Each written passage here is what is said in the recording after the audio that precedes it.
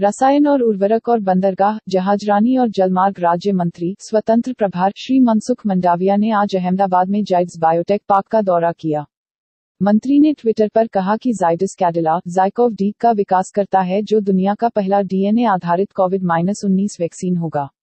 श्री मंडाविया ने हेस्टा biosciences limited का भी दौरा किया।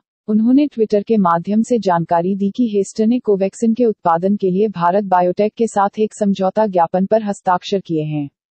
मंत्री ने उनके प्रयासों की सराहना की और उन्हें सभी के लिए मुफ़्त टीकाकरण सुनिश्चित करने के लिए टीका उत्पादन में तेज़ी लाने के लिए सभी सरकारी सहायता का आश्वासन दिया।